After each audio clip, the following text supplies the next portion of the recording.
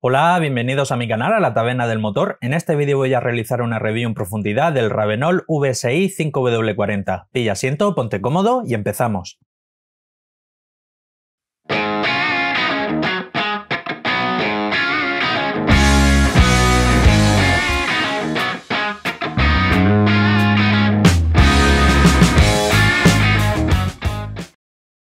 Este modelo de Ravenol es un 5W40 y cumple con la norma ACA3B4, con lo que se trata de un aceite full SAPS. El fabricante indica que homologa de manera oficial la norma API SM ACA3B4, como he comentado antes, y en cuanto a homologaciones de fabricante, homologa de manera oficial la norma de Mercedes-Benz 2293, BMW LL98, Porsche A40 y Renault RN 700 y 710. El fabricante también indica que se puede utilizar donde se recomiende la norma del grupo BAG 502 y 505, Opel GMLL B025, Fiat 9. 55535H2, Chrysler MS 10850 y 10896. Me he encontrado algunas incongruencias en la hoja de propiedades típicas que ofrece el fabricante Ravenol en su página web, ya que según él, y aquí en las especificaciones técnicas, en contra de lo que dice el propio envase, indica que homologa de manera oficial la norma API SN y que sí que de manera oficial cumple con la norma 502 y 505. Ante esta discrepancia entre lo que pone el envase así como lo que declara el fabricante, he mirado en la página web de Erwin, que pertenece al grupo BAG, en donde hay un listado de todos los aceites que homologan de manera oficial sus normas y sí que he comprobado que este modelo VSI homologa de manera oficial la norma 502 y 505. Asimismo, también he mirado en la página web oficial de API, api.org, donde también tienen listado sobre los aceites que cumplen de manera oficial sus homologaciones y sí que indica que el modelo VSI, el modelo que estamos analizando, homologa de manera oficial la norma API-SN. Con lo que el fallo como tal está el que el fabricante se le ha olvidado actualizar lo que es la foto del envase en la página web. Es muy probable que si el fabricante ha realizado el cambio recientemente, todavía quede stock del modelo antiguo. Lo que es la formulación de la base, así como el paquete de aditivos, quiero pensar que es la misma, ya que se conserva la misma hoja de seguridad, y lo que ha hecho el fabricante es actualizar el tema de las homologaciones. Entonces, ya que a día de hoy está vigente la versión nueva, nos vamos a centrar sobre las homologaciones actuales. El fabricante indica que se trata de un SAE 5W40, cumple de manera oficial y así lo he comprobado API SN, API CF y ACA3B4, con lo que es un aceite full SAPS y tratándose de un 5W40 su HTHS es superior a 3,5. En cuanto a homologaciones del fabricante, homologa de manera oficial la norma de Mercedes-Benz 2293, las normas del grupo BAS 502 y 505, Porsche A40, Renault RN 700 y 710 y recomienda su uso donde se requiera la norma 226.5, BMW LL01, aunque también ahí entraría la 98, Opel General Motors LLB 025, Fiat 9.55535H2, Chrysler MS 10850, PSA B71 2296 y Chrysler MS 10896. Para resumir un poco el ladrillo que acabo de soltar, este aceite lo podéis utilizar en cualquier motor que requiera un 5W40 CA3B4. Comenzamos con la hoja de propiedades físicas, densidad 20 grados, 852, aspecto visual, marrón oscuro,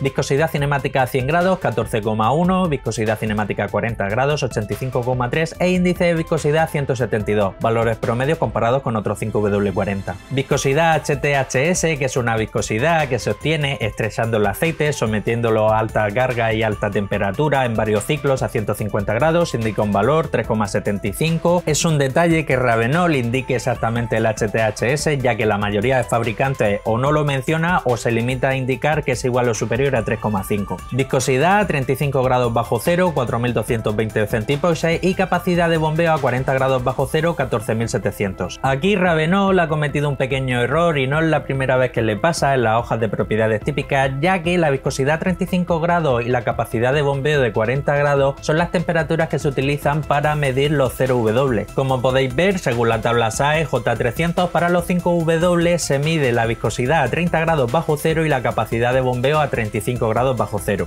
Hemos de entender que aquí en esta ficha técnica la viscosidad debería ser 30 grados bajo cero y la capacidad de bombeo 35 grados. Con todo y con ello, tratándose de un 5W y vamos a tenerlo en cuenta que se ha medido a menos 30 grados, 4220 centipoises está muy bien, ya que la tabla SAE J300 impone un límite máximo de 6600 y en cuanto a la capacidad de bombeo, en este caso a 35 grados bajo cero, indica un valor 14700 y el límite máximo está en 60000. O explicado de otra manera para que se entienda mejor, tratándose de un 5W, este aceite se comporta bastante bien a bajas temperaturas. Punto de congelación 51 grados bajo cero, buena temperatura, porcentaje de evaporación NOAC 8, también un buen valor, tanto el punto de congelación como el porcentaje de evaporación NOAC que interesa que siempre sean lo más bajo posible, punto de inflamación 238 grados, un buen valor, no va a batir ningún récord pero está bastante bien. TBN, que la capacidad de detergencia y neutralización de ácido, indica un valor 10 que es un valor promedio tratándose de un aceite full saps y en cuanto a la concentración de cenizas indica un valor 1,39, indudablemente estamos delante de un aceite full saps el cual la CA3P4 impone un límite máximo de concentración de cenizas de 1,6. Pasamos a la ficha de seguridad, también conocida como hoja MSDS, y es aquí donde los fabricantes, en cumplimiento de un reglamento de la Unión Europea, tienen que indicar algunos tipos de compuestos que pueden ser perjudiciales para la salud, viene en contacto con los ojos, con la piel o por inhalación. Como tal, y siempre indico, esta hoja no es para que el fabricante nos diga la receta completa del aceite, ya que no es su cometido, pero sí que en algunos casos podemos comprobar con ayuda de unos códigos CAS qué tipo de compuestos ha podido utilizar, sobre todo en lo que a la base se refiere. En este caso, la hoja es bastante, bastante parca, hay poca o ninguna información que podemos sacar en lo que a la base se refiere, ya que aquí el fabricante ha indicado algunos tipos de compuestos con concentraciones comprendidas entre el 1 y el 3% o el 0 y el 1% que se trata de aditivos. Pasamos a los resultados del análisis de laboratorio. Aquí he puesto API SN y API SM en asterisco, pero ya hemos comprobado que se trata de un API SN y comenzamos con las propiedades físicas. Viscosidad cinemática 40 grados, 82,42, una miajilla más bajo que lo que indica el fabricante, eso es incluso una ventaja. Viscosidad cinemática 100 grados, 13,95, prácticamente calcado a lo declarado por el fabricante. Índice de viscosidad 175, ha dado 3 puntos por encima de lo declarado por el fabricante, pero como este índice se toma cogiendo como referencia la viscosidad 40 grados y la viscosidad 100 grados y estos no coinciden plenamente por lo declarado en la ficha técnica, pues lógicamente índice de viscosidad tampoco puede coincidir. TBN, que es la capacidad de detergencia y neutralización, indica un valor 10,43, medio punto por encima de lo declarado por el fabricante, y el TAN, que es la acidez inicial que tiene el aceite, indica un valor 2,87. Es relativamente elevado, pero bueno, hay que tener en cuenta que se trata de un aceite full saps y el paquete de aditivos es bastante graso. Aquí, como siempre digo, lo interesante, lo importante es que la diferencia inicial entre el TBN, que es la alcalinidad, y el TAN, que es la acidez, sea lo mayor posible, ya que conforme el aceite vaya trabajando dentro del motor, se vaya poniendo un poco más viejo, vaya pasando los kilómetros, se vaya mezclando con ácidos formados en la quema de combustible, como puede ser el ácido sulfúrico o el ácido nítrico, pues el TBN se va a ir reduciendo y el TAN va a ir aumentando. Llegará al punto en que el TBN sea igual o inferior al TAN y ese sería indicador para realizar el cambio de aceite. Concentración de cenizas 1,38, clavado con lo declarado por el fabricante, punto de congelación 51 grados bajo cero, también clavado con lo declarado en la ficha técnica. Y en cuanto al punto de inflamación, da un valor 236 grados, que son dos graditos por debajo de lo declarado por el fabricante, que sigue siendo un buen valor. Capacidad de bombeo, la viscosidad 30 grados bajo cero, indica 3970 centipoises, el fabricante indica 4220. Este aceite, como he dicho antes, pese a ser un 5W, se comporta muy muy muy bien a bajas temperaturas.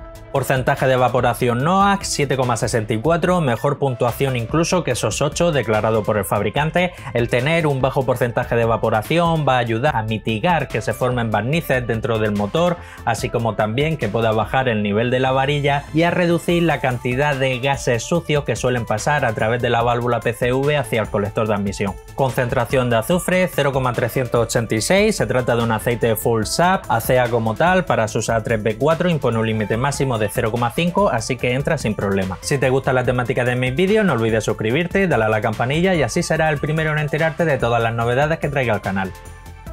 Pasamos al paquete de aditivos molibdeno, que es un modificador de fricción, es un aditivo que funciona en capas como si fuese, entre comillas, masa de hojaldre, indica un valor 5. Eso no es ni homopático, se puede decir que es un falso positivo. El molibdeno ayuda a reducir un poco el consumo del combustible, el sonido del motor y así como ligeramente el desgaste. Fósforo y zinc junto forman el ZDDP 1154-1245, va bastante cargado de ZDDP. Esto es aditivo principalmente antidesgaste, también hace función antioxidante y está por encima de la media de otros 5W40 Full Saps que llevamos visto hasta ahora en el canal. Boro 116, en este tipo de concentración no sabría deciros con certeza al 100% si solo va a hacer función de dispersante o también hace función de modificador de fricción, con todo y con ello lleva bastante. Magnesio es un aditivo neutralizante y detergente, lleva 11, es una concentración bastante homopática y en cuanto al calcio también aditivo neutralizante y detergente, lleva 3157 que es bastante alto, no tan tan tan alto como algunos modelos que hemos visto en torno a 3500, 3600,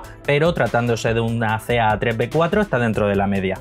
En cuanto a wolframio, también conocido como tusteno, es un aditivo antioxidante y antidesgaste que lo utiliza Ravenol en su gama alta. En este caso no se ha medido, pero ya os adelanto que sé de muy buena tinta que este modelo no lo utiliza. Ya eso está reservado, como he comentado, a modelos más gama alta. Y el titanio, que también es un aditivo antidesgaste y antioxidante. Eh, Ravenol no me suena que lo utilice en ninguno de sus modelos. Es más común verlo en algunos modelos, sobre todo de la gama Castrol Edge Titanio. Y me suena también que ahora total en algunos de sus aceites también lo está empezando a utilizar. En cuanto al parámetro de oxidación, indica un valor 12. Con esto, directa e indirectamente, podemos entender que en principio el fabricante para la formulación de la base del aceite no ha utilizado éster. Pasamos a la hoja FT y es aquí donde podemos comprobar qué tipo de compuestos se ha utilizado principalmente para la formulación de la base del aceite, así como también un porcentaje de concentración muy aproximado. En este caso hay un par de crestas a las que tenemos que prestar especial atención, la cresta que se forma en torno a 1700 150 está muy muy muy bajita y unido al parámetro de oxidación de 12 podemos concluir que no se ha utilizado este y otra cresta muy a tener en cuenta, la cresta que se forma en torno a 722 está ahí por encima de 1, entre 1 y 1,5. Con ese parámetro podemos concluir que el fabricante para la formulación de la base de este aceite ha utilizado en torno a un 50% de PAO, perteneciente a la base grupo 4. Bien, pues pasamos al apartado de las conclusiones finales, datos a destacar, la base utilizada, un nada nada despreciable, 50% de PAO, también el paquete de aditivos, bastante rico, si bien el molibdeno prácticamente ha dado ahí un falso positivo, va bien cargado de fósforo, zinc y boro. En cuanto a las propiedades físicas, un bajo porcentaje de evaporación, muy buen comportamiento a baja temperatura, buen punto de congelación, buen punto de inflamación. Y en general el resto de datos muy muy fieles a lo declarado por el fabricante en la ficha técnica. Lo único que se le puede dar un mini mini mini mini tidón de oreja a Ravenol es que se ha vuelto a equivocar como ha pasado en otras ocasiones en la ficha técnica en cuanto a la capacidad de bombeo y la viscosidad a temperaturas bajo cero, que no es la primera vez que pasa. También ha habido ahí un pequeño lapsus en el cual ha actualizado el aceite, ha actualizado la ficha técnica, pero se le ha olvidado actualizar la foto del envase. Quiero pensar que todavía le pueden quedar modelos de la partida antigua, eso no ha hecho el cambio como tal. Pero bueno, con todo y con ello, tanto si podéis conseguir la versión antigua como la versión moderna, sigue siendo un muy buen aceite, no hay una diferencia palpable. En cuanto al precio, pues este modelo he estado mirando, hay varios distribuidores aquí en España que son distribuidores oficiales, también está la página web oficial de Ravenona Alemania y si lo consigue en Alemania lo está en torno a 38-40 euros, si lo consigue aquí en España en torno a 40-46 euros por un aceite que lleva un 50% de pago, un rico paquete de aditivos y muy buenas propiedades, me parece un precio estupendo. De lo mejorcito que se puede conseguir en 5W40 en ese rango de precio. Dentro de casa, en su propia casa, tiene un gran competidor que es eh, el hermano mayor, entre comillas, que es el VST, que sí que tiene una base muy similar, pero lleva un poco de éster y aparte lleva el Wolframio, lo que sí que ya te va a unos 50-55 euros. Eh, ahí, ahí, tú ya tienes que valorar si te puedes permitir gastar 10 euros más o 10 euros menos, pero vamos, con todo y con ello no quiere decir que este sea un mal aceite, lo que pasa que este es gama media alta y ya el VST entra más bien dentro de la gama alta de Ravenol. Y bueno, hasta aquí el final del vídeo, no me quiero ir sin antes recordarte, como siempre, que tengo abierto un grupo de Telegram, creo que ya hemos superado los 160 usuarios, ahí se puede hablar de todo lo relacionado con los coches, aceites, filtros, recambios, repuestos, mantenimiento, reprogramaciones, detailing, etcétera, etcétera, etcétera. También, si puedes, me haces un gran favor a mí y en general al canal si compartes el vídeo, que seguro tiene un hermano, un primo, un cuñado, un vecino, un compañero de trabajo que también es aficionado a la mecánica. Dale un buen like si te ha gustado el vídeo, dale dislike si no te ha gustado y si quieres seguir estar atento a todo lo relacionado con el mundo del aceite del motor, no olvides suscribirte, dale a la campanilla y nos vemos en el próximo vídeo. Un saludo.